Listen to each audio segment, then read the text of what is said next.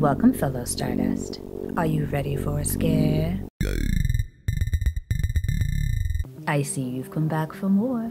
If you're new here, buckle up. And thank you all for joining me today. My name is DeRae, aka Rainbow Fright, lover of all things dark, creepy, and weird. And today I'll be discussing The Haunting, the original as well as the remake, which were adaptations of Shirley Jackson's novel titled The Haunting of Hill House. And I will be joined today by a very special returning guest. So please join me in welcoming back Terence Miguana. Hi, hi DeRae. Thank you for having us back on your awesome channel. Really appreciate it. Yes, welcome back. Thank you so much for coming back. I really appreciate it. We actually did this some time ago when we talked about Suspiria, both of these Suspiria movies, the original and the remake. So I'm super excited to do it again with you with the Haunting movies. But you mustn't expect every night to be Halloween. Psychic phenomena are subject to certain laws.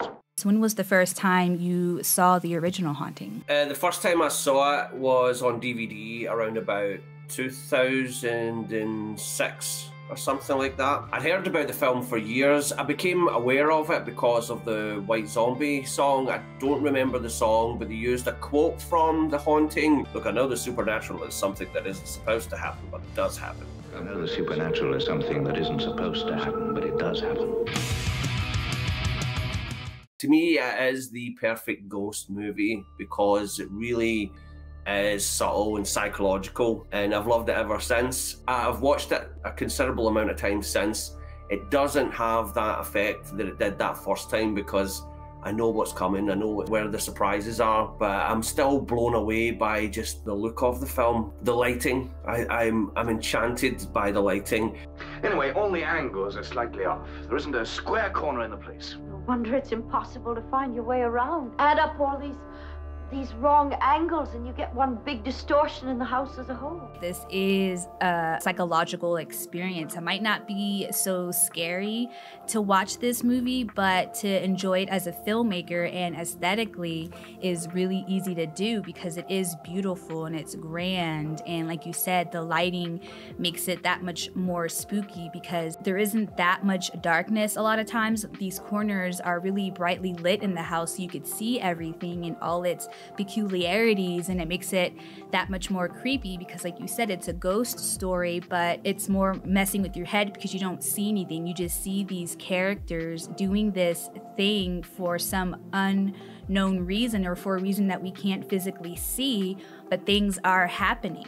People are dying. In a sense, this house is the ghost and is the character, aside from the ones that you see on screen. 1963 uh, it was common for colour films to be in production, and Robert Wise and the producers made a conscious effort to shoot it in black and white.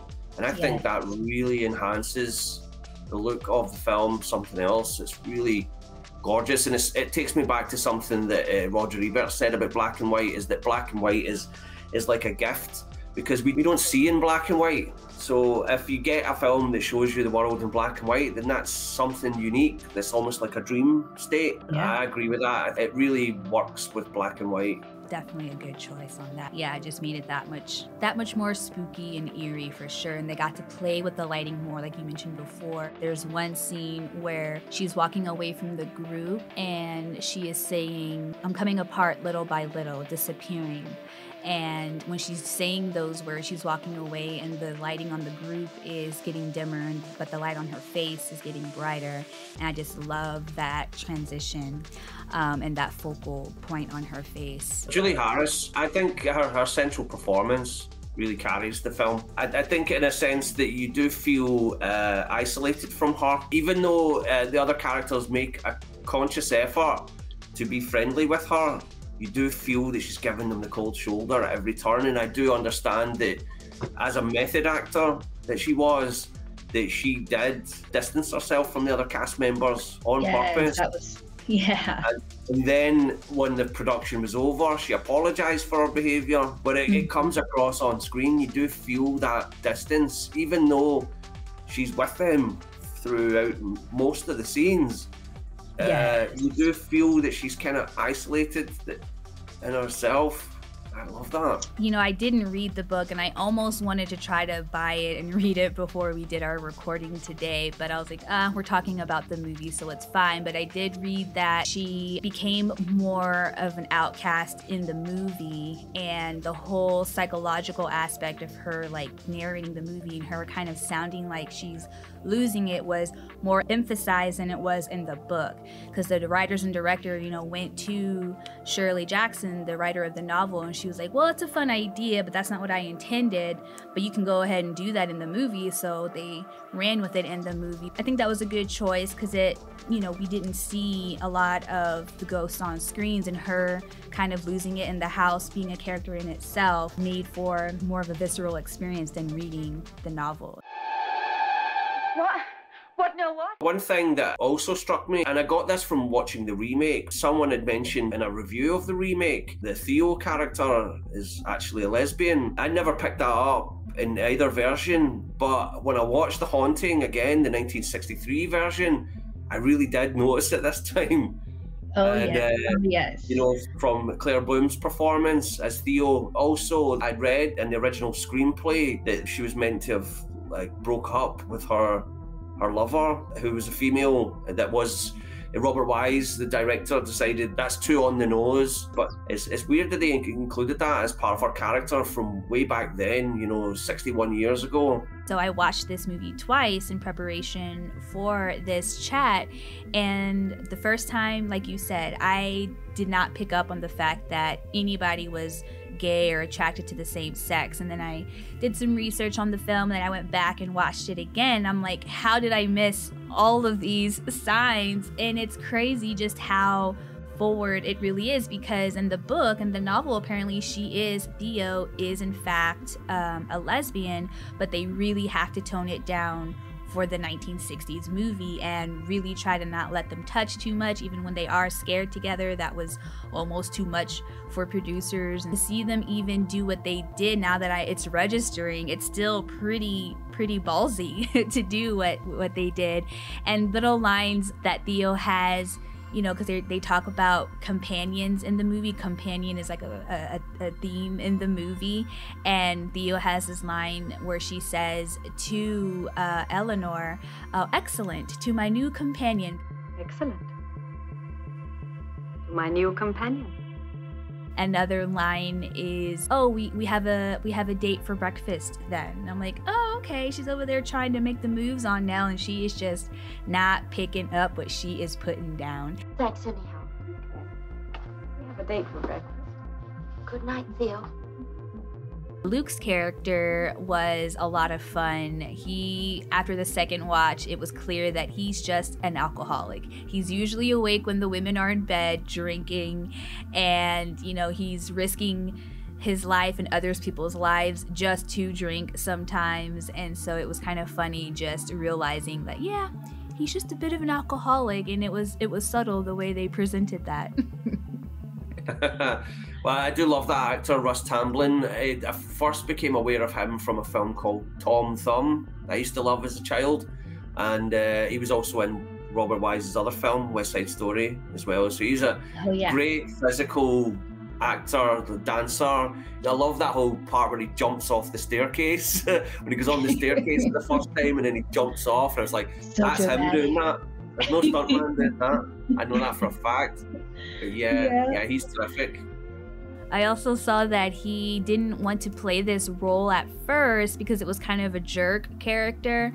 So he basically declined the first offer, but then the studio was like, We strongly suggest that you reconsider, otherwise, we'll end your contract. He's like, Okay, maybe I'll go ahead and play Luke.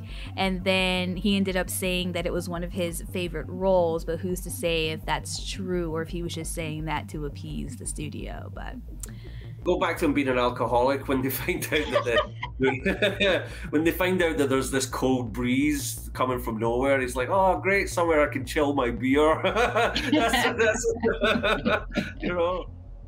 Who died there? Just the uh, place to chill our beer, huh? No, no, don't go in there. Oh, I'm with Dr. Marrow's group. I'm supposed to see Mrs. Dudley. Is she here? What do you think? Yeah, so I really thought I was gonna really dislike this movie upon my rewatch of it, but I don't hate it. For me, I think I really was enjoying the first 30 minutes as a remake, it coming from 63 to 99 and them revamping it a little bit. But at around the 30 minute mark, they really started to take those really hard left turns that made me feel like, okay, you really just changed the whole story and it's not the original anymore. It's a completely different story. I, I didn't like the fact that we basically didn't have um, the house as a character haunting the people. Instead, it was Hugh Crane who is the ghost that is haunting Eleanor and everybody else, keeping captive these children that Eleanor is throughout the film trying to rescue.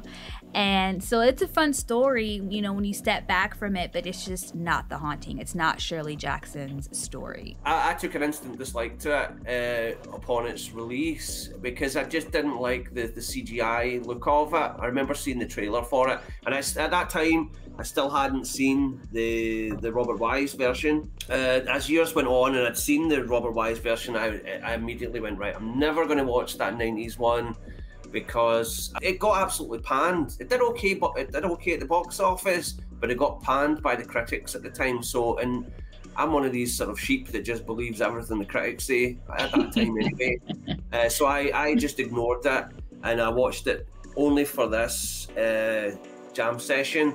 And uh, I, I, was surprised I didn't dislike I, I, I have issues with it. I don't hate it. I don't think the film is boring.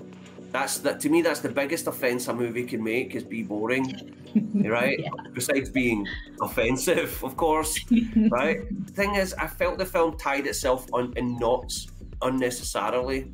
The whole oh, yeah. concept of which I think was okay. You probably looks good on paper that these people are brought to this house not knowing that it's haunted. That they're told that they're there for some sleep deprivation experiment, which is fair enough because if you're going to go and spend the night in a haunted house, you would think yeah, best that you didn't know it was haunted because then every every apparition or thing that you see is definitely not psychological because you might see things that people put the idea in your head that this place is haunted.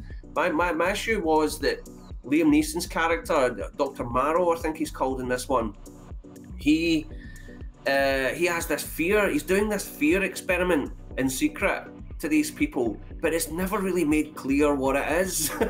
We're not really yeah. let in on what this experiment really entails. Obviously, he's going to get found out at some point, and when that moment does happen, it just sort of disappears like vapor. It's just like, why bother, right? With the original, it was more simplistic to have uh, Dr. Markway who he's the stand-in for, who's simply on their side. He's like, look, we're doing this experiment, trying to prove the ghosts exist. Whereas in this one, it gets so convoluted unnecessarily, and I feel yes. that that kind of, I felt that that kind of hurt it in some way. I Gave you the clues. You created the story as you were meant to, but it's over. I'm pulling the plug. But also, um, the weird thing is, is it kind of it did set up that there was going to be some violence when you had the moment with the harpsichord. The wire from the harpsichord slashes the woman's face, his assistant, and I was like, oh goodness, this is going to be more violent. Haunting's not really a violent movie, but this one straight away we get a big slash down the face. I'm like, okay, they're going to go there, and and yeah, it it does go there a little bit, not to the not to the degree I was kind of hoping for. You really only get one other moment when um, Luke's character is beheaded, um, so it is kind of a letdown to just have those two things go down when you have all this CGI and fantastical things going on just to kind of make it in between. Either don't do it at all like the original or go all out. But again, they wanted to keep the PG 13 rating, which I really hate hearing that kind of shit. Like, oh, it would have been more this, but because of the PG 13 rating, we had to go this way. I feel that this film is kind of going in two directions at the one time, that it wants to be this grand special effects spectacular, and it's it's in it's in the set design really extreme in its scale and just this bizarre design, and I'm fine with that. I'm like, okay, they're going to go all out crazy and but at the same time they want to have their sort of subtle cake and they want to have their special effects spectacular at the same time. And i think that's kind of detrimental. It's still entertaining though. It's still a fun watch. Uh, Lili Yeah. taylor is an actor i really like. Ever since i've seen her in say anything where she played corey and she's still a very busy actor. She's still still around right doing lots of great work and i liked her take on eleanor i think she made eleanor a little bit more relatable than Julie Harris. Julie Harris made her more distant and crazed, whereas I felt that Lili Taylor made her more relatable to younger audiences, mainstream audiences. I like this house. I think it's a beautiful house. Yeah, I guess. Jan de Bont, I mean, he's only ever directed five films in his in his life. He's now retired now. He's 80 years old, and at that time he was a veteran cinematographer for over 20 years. Uh, he'd been working with originally with Paul Verhoeven because he's Dutch. He's from Holland, and uh, his career is, is spectacular. He, he was one of the. You've heard of the film Roar, with uh, the where they use live animals and they, they attack their cast and crew. I'm sure you've heard of this film from the early 80s. Look that up. where he actually got 230 stitches in his head because some Oh. tiger like mauled him. He was the cinematographer on that movie. And, you know, he, I think The Haunting was a bit of a comeback for him to an extent because he just had a bit major flop with Speed 2 Cruise Control, which was like his third directorial movie, sequel to his original film Speed. Yes. And it, and you think about it, yeah, The Haunting, it it did do good business, but you can kind of feel that uh, Jan de Bont was kind of just put there. Not saying he's a bad Yeah. director or anything, but you can feel that Spielberg, it's kind of he was really in charge again. Not to not to bring up that ghost of the ghost of the poltergeist uh, sort of myth where everyone Situation. Yeah, Yeah. Tobe Hooper didn't direct it and all that kind of thing. But you do feel that. You do feel that Spielberg's kind of uh, got a hand in it. Yeah, because you think about you think about Twister, you think about Speed, you think about Speed Two. Like none of those you could really compare to The Haunting. And yes, it's, a director can make completely different movies, um, but you could just feel the Spielberg-ness in this one compared to those three movies. Yeah, in particular as well with Jerry Goldsmith returning. You know, that was he was the composer on Poltergeist as well, and uh, I like his score for The Haunting. And this was the final one that he ever did for Spielberg, apparently. And and it does it does feel like a Spielberg movie, especially with the. You know, when you compare it to the, if you're going to compare it to the original Haunting, the sequence that's really famous where Eleanor's running down corridor and then she stops at the mirror and all that stuff and she's freaking out. And this one, she's bolting down the corridor and everything's like shaking. I mean, she may, they may as well be playing the Indiana Jones music during those scenes, right? It feels that way. Based on our last discussion about the Suspiria uh, films, right?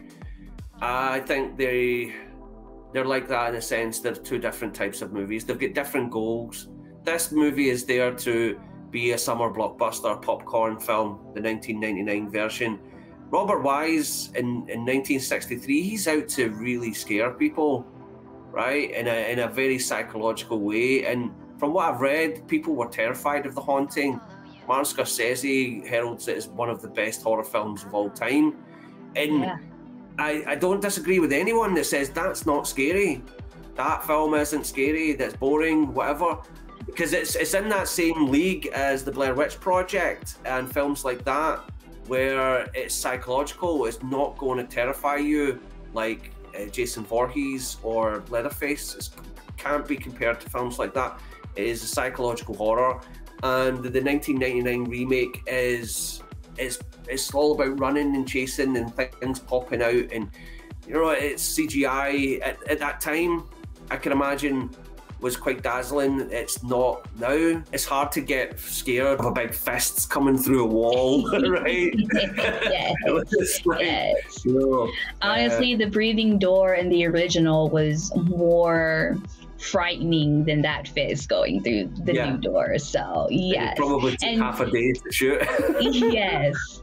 And just for fun, what would you pick? Uh, the Haunting original or House on Haunted Hill original? Uh, the Haunting. Okay. Easily. Yeah, yeah. The Haunting is my number one ghost movie, so it's hard to beat. Oh, okay. I Yeah. didn't know that. No, exactly. And, uh, you know, probably after that it's Poltergeist.